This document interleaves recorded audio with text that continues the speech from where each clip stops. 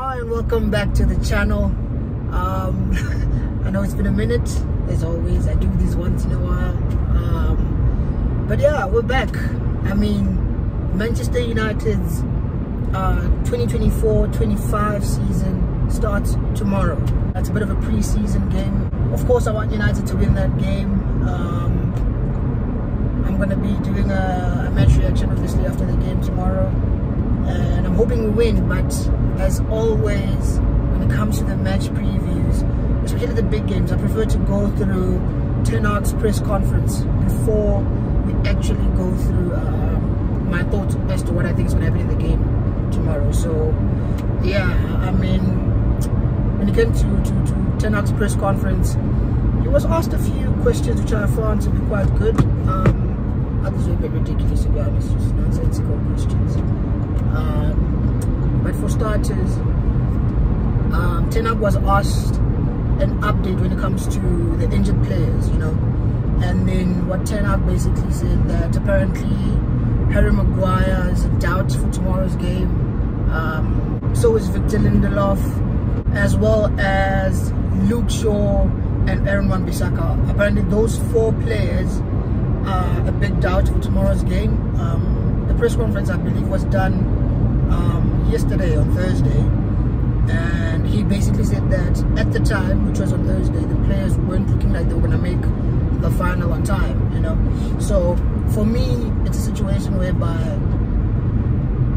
when it comes to Maguire, I'm, I'm, frustrated he's injured because he's been injured for lots of, of, the past season. That's why he couldn't even go to the Euros. But then on the other hand, you've got someone like flipping Luke Shaw, who's been injured for Man United since February 2020 uh, for, but somehow was fit enough to go play for England in the Euros. You know what I'm saying? Like, this guy was injured for us and was unavailable due to an injury. However, he's fit enough to go play for England in the Euros. Okay, as if that's not bad enough. We're just asking him to remain fit and, oh shit, is that a fire or something? Looked like a fire on the other side of the road. Anyways, um, hope everyone's safe. But yeah, as I was saying, um, Luke Shaw is a disgrace because when it comes to Man United, he seems to just pick up these in injuries and, and niggles and things like that. But when it's time to play for England, he's fit, which I, I don't understand. I, I genuinely don't understand. Maybe I'm wrong, but for me, I would have thought he would prioritize playing for Man United than he would for playing for England. Maybe that's just how I think. Maybe not everyone agrees with me. However, he's injured again. I mean, it's getting ridiculous at this point. If it started getting, it's, it's being ridiculous when it comes to Luke Shaw. I believe this is someone we should have gotten rid of long time ago, ages ago. He's proven to us time and time again that yes, he's a good fullback very good fullback. However, it's not like he's flipping prime Roberto Carlos or prime Ashley Cole. He's a good left back, yes, I get it. But that doesn't mean that we must treat him like he's this world-class player, because he's not. If anything, I think as Man United fans, we've gotten, we've probably had like two or three seasons at best, which I'd be like top, top, top level, where he was right at the top of his game. We probably have two or three games from Luke Shaw. But anyways, he's injured again, and he's someone I, I firmly believe needs to be sold, honestly. I think Shaw needs to be sold and we need to keep it moving. But anyways, it is what it is. Know, it's enough talk about Shaw. Let's keep it moving. Um, Aaron Bissaka is apparently also injured, which this one I'm kind of blaming Ten Hag because apparently there were rumors that Bissaka wasn't exactly 100% fit. And everybody knows Man United are trying to sell Aaron Bissaka. But yet, in the last preseason game against, was it Liverpool, where we got beaten 3-0, he played him for most of the game. I for about 80 minutes, played him. What the hell are you doing? Now he's injured. This puts his transfer in jeopardy. We might not sell Aaron Bissaka because he got injured flipping preseason game, which meant nothing, you know. But yeah, anyways, those are the injury updates. Maguire, Shaw, uh, Bissaka, and, and, and um, Lindelof are all down for tomorrow's game. We'll see what happens. Uh, but moving on, Ten was also asked, um, what about the players who are not involved in preseason? Is, is there any way in which uh, is he worried about how they're going to gel with the team? Are they going to be ready for the season? He basically said that uh, the players, each player has been given an individual program whereby they'll basically be working on that by themselves, even though they were on off season, but to stay a bit fit, you know. So yeah, that's that. Um, what else was it asked? Mason Mount. This for me was a good question. He was asked, "What do you expect from Mason Mount this coming season?" And to be honest, I thought he answered it as honestly as he possibly could.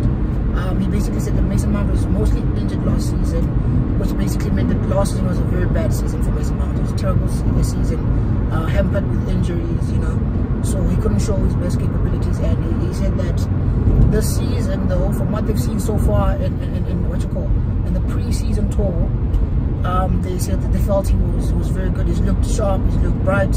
He's looked like the player who we signed from Chelsea. You know, so it seems like it's promising with Mason Mount. Maybe, hopefully, he actually turns up for us this season and plays well. Um, I myself am a big doubter of his, but I'm hoping I'm hoping he proves me wrong because I think he's a bit of a decent player. I don't think he's like a top top top class. I think he's, he's, he's a good player. He's alright, but he's not like world class or top top class. But I'd like for him to come good at United, obviously, as a United player. Um, but anyways, keeping it moving from Mount, what else was he asked? Um, he was asked uh, with regards to a centre midfielder. Um, have you identified any, any, any targets? That's that's an that is by the way. Someone was asked if, we, if, if, we've identified uh, a potential central midfielder to sign or defensive midfielder to sign. Uh, sign is um, he was asked if, if, if he's identified any midfielder to sign, and he basically said that uh, he's not going to share, uh, you know, the typical, going to keep, keep keeping your, your, your cards close to your chest, you know. So he said he's not going to share such info with the media. Uh, all he'll say is that people need to be a bit patient. They're working on things and they've got their strategy. He's very happy with the with the transfer window so far. We've already done our business. Even went as far as saying that Man United have got a very good squad and have, have got basically two players in each and every position. I'm just like, come on, Tana, you're lying here. But I get what he's doing. I mean, what else do you expect him to see? To come out and see my players are shit. It doesn't work like that. He's not going to say that. He's going to come out and say, no, my players are good. Good squad. I'm looking forward to the season. But of course, we all know that's just lip service, you know, playing to the gallery and all that. So I get it. Uh, but yeah, man, that was basically Ten Hag's press conference. Um, I don't know if I'm forgetting anything else which is important um, with regards to the conference, uh, press conference you didn't mention. Uh, he was asked about Lisandro Martinez. Is he going to be fit and ready to go this season? Again, he said he does a very important part, a very important, important player for the squad, and it plays a big part in how the team performs, you know. So we're looking forward to, to coming back. I believe he speaks. When, when, he said that, I was like, you know, he's right. He speaks for all Man United fans, really. We want Licha to come back as soon as possible and basically help us play well, you know. But yeah, unless if I'm forgetting something, which I probably am, um, think I covered all the important questions with regards to the, the press conference, so quite happy with that. Uh, but anyways, moving on to tomorrow's game, it's a Community Shield. It's not that big a game, guys. It's just a Community Shield. It's basically another preseason game for us. It's our last preseason fixture. Um, I'm hoping, I'm really hoping we'll do well. I'm not expecting us to win. Um, but then again, at the same time, it's a one-off game. City haven't been brilliant in pre-season. We haven't been brilliant, but it's that's that's all there is to it. It's just pre-season. You know, it's not that big a deal. So of course, I'd like for us to win, and I'd like to think Man United fans by now know the drill. If we win the game tomorrow, it's simple. The Community Shield is basically the new Champions League. but if we lose it, this is a pre-season, pre-season friendly and nobody cares about it, you know. For me personally, it's just about the performance. Um, I mean, we're playing Man City, so I say it's about the performance, but we're playing Man City, so I don't know if we're going to perform well. You know, we, know City are the best side in, in England, basically. So I don't know if going into that game and you can, I don't know if you can realistically expect Man United to outperform Man City you know so i don't know we'll see how that goes but um, anyways i'm expecting what do i expect from tomorrow? I, I, the thing is i don't even know what to expect tomorrow. You know it's a it's a preseason game like i've been saying. But i genuinely don't know what to expect. It could go either way. Either way could go. We could win we could lose either way could go. So for me i'm just gonna predict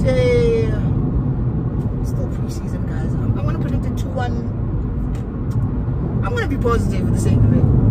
I'm, I'm, I'm gonna try to be positive. I'm gonna predict a 2-1 win for Man United, and uh, hope I hope we actually win. Now that I've gone ahead and put, my head on the chopping block, uh, chopping block. Um, yeah, I'm gonna predict a 2-1 win for Man United. Um, 50% because I think anything can happen in the final, um, and the other 50% is because I'm a United fan. Um, City might be the City are definitely the better side, but I'm gonna predict my team to win, man. I'm gonna predict my team to win. So yeah, I'm gonna predict a 2-1 win for Man United. Um, how we'll play, I think we'll get dominated as always by Man City. Um, expect them, expect them to have a large share of the ball.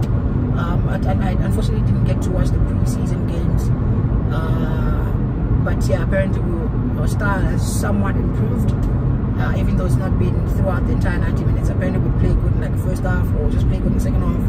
But yeah, so hopefully this season we see more good football being played by Manchester United. You know what I'm saying? So I'm looking forward to the season. I'm not. I'm not. I'm not. I'm not yet because of the the sign or the lack of signings and the lack of uh, of outgoings. I'm, I'm a bit worried about the upcoming season, but let's park that for now. Just for tomorrow. Uh, I'm looking forward to it. I want to see how we play. Um, I haven't seen Man United play football in a while. So hopefully United do me proud tomorrow with beat Man City by two goals to one. Um, as for the goal scorers, I'm going to predict, I don't know, Joshua Zirkzee to get one. Probably gets a goal. And who else gets a goal? Amad Diallo is another one who could maybe get a goal. I know Zirkzee is not much of a goal scorer, but more of a uh, false nine, more of a creator. So I can see Zirkzee basically getting involved in either with getting a goal or an assist. But goal scorer, I can definitely see Amad Diallo scoring. Uh, I say definite. Tomorrow probably as a stinker now. Maybe I've just given him the curse. Uh, but yeah, I can see us winning to one with Amad scoring a goal. Zirkzee will either get a goal or an assist. And yeah, I think I think Zirkzee will get an assist. Amad might, might score one, and the other goal might be scored by flipping Mason Mount. Who knows? As for the predicted lineups, I'm not even going to bother doing that. I mean, it's preseason. I don't even know which players are fully fit, which ones aren't. So there's no point doing a combined 11 or predicted 11s for tomorrow's game. Let's just watch the game and hope United do us well tomorrow. But yeah, come on the Red Devils. And uh, yeah, like I said, I'm predicting a 2-1 win for United. So yeah, that brings me to the end of the video. So if you like the video, please hit the like button let me know in the comment section what you thought. Do you think I'm wrong with my prediction? Do you think I'm crazy? Do you think City are gonna hammer us? Do you think I don't know? Let me know. Just let me know what you think in the comment section below. And if you haven't already, please like the video, share the video, subscribe to the channel. That's very important. And I will see you guys soon. Peace.